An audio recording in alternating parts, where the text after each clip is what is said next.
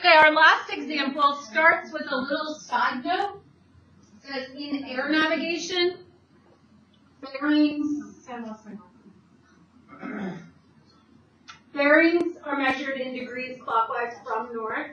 Uh, examples of air navigation bearings are as shown below, and then it says if it's 60 degrees, you start north and you just go 60 degrees clockwise. I couldn't see it past this thing.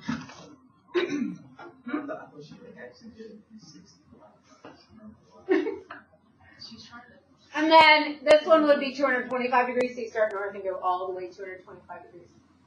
So that would be, if they didn't tell you, like northeast or southwest or something, that, if it's in air navigation, that's what you would use. So we read this question, it says a plane leaves Cincinnati Airport at a bearing of 90 degrees. So it does not tell you anything about direction, so that means we're going to be using one of these kind of examples. Flies for 20 miles. And then another plane leaves at a bearing of, this one says south 35 degrees east for 50 miles. So that one you use the other kind of bearing. And how far are the two planes apart um, from each other? Okay? I'm going to draw a picture.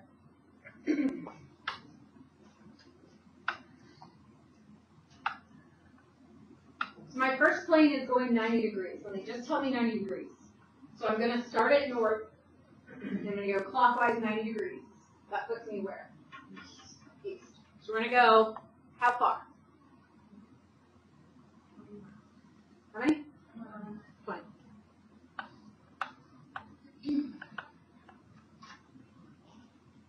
My second plane is going south 35 degrees east for 50 miles. Same airport. We're now going to go south, and then we're going to go 35 degrees east. For how long? How long?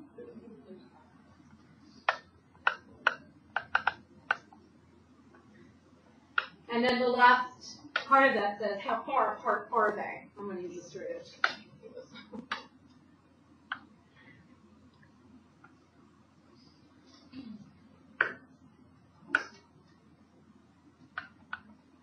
that's what we're trying to find. Is this a right triangle?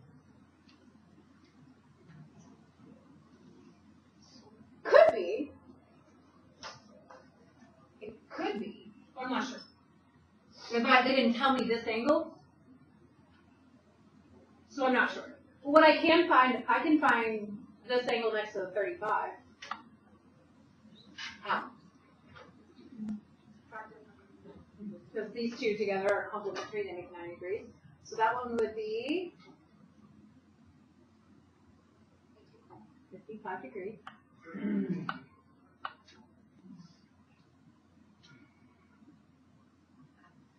So now here's the part where you may not think of on your own, so to show you so that you know this is a something you could do in your homework. I'm going to extend this. And I'm going to take this point down here, which is at the end of the 50 miles, and I'm going to go straight up. And that's going to form 90 degrees.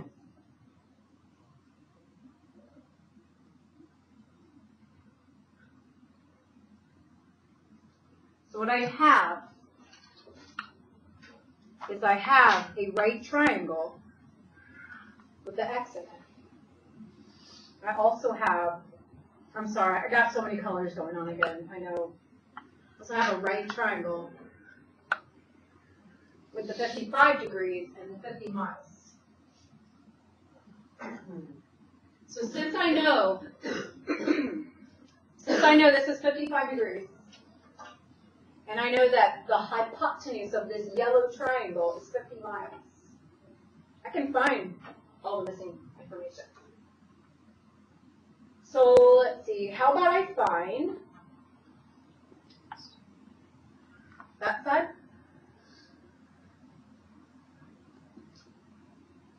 According to 55 degrees, 50 is the what side of this yellow triangle?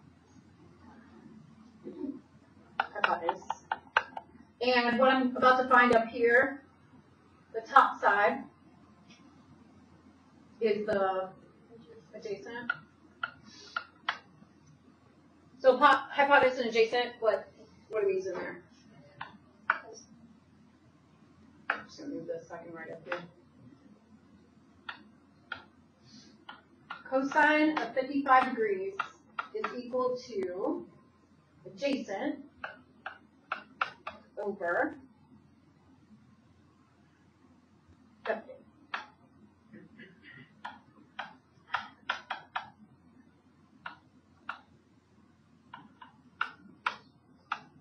It bothers you, I'm using adjacent, just give it a letter.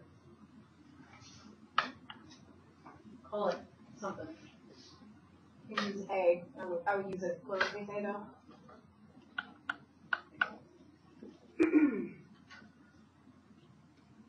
So that is gonna be fifty cosine fifty-five degrees. I'm trying to eventually get this in the green triangle. So once I know this total amount up here, how can I find this short side of the green triangle? Hmm? Subtract twenty minus. I'm gonna take the big one and subtract off the twenty? Yeah. Okay. I just can't hear what you guys are saying.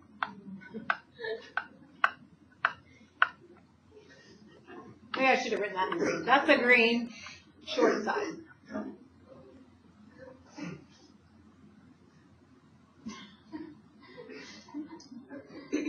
So I know one side the green triangle. I can find this side of the green triangle also because that is part of the big yellow triangle. So this side is the opposite of 55. And we'll call that side B. So if I do the opposite, and I'm going to use my hypotenuse again, that sine. Sine 55 degrees equals the opposite over the hypotenuse. Cross multiply, we get 50 sine 55 degrees of this side over here.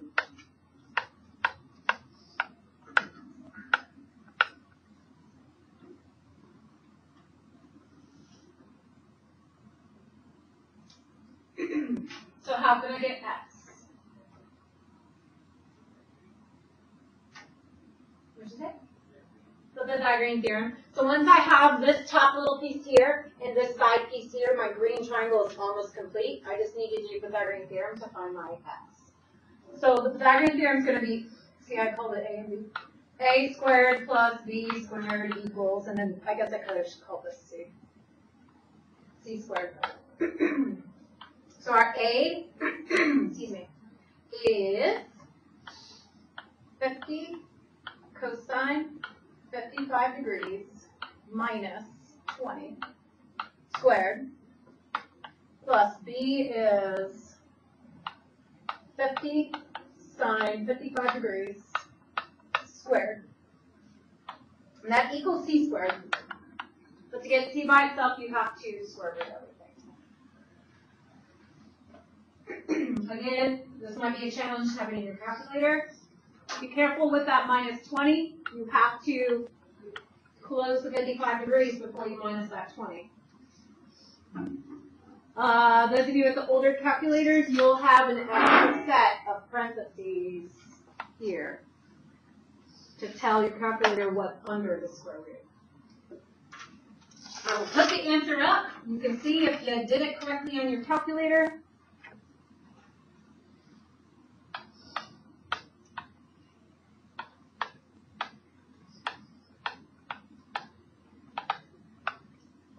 You on.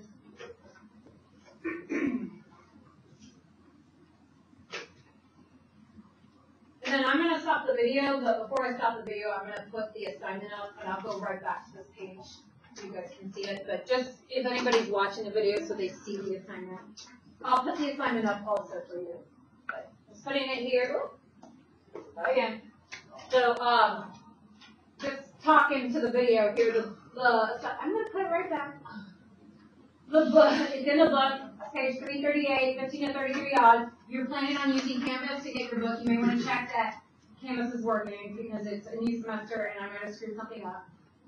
Checking class. Um, otherwise, just take pictures of the book, or you might have a book at home.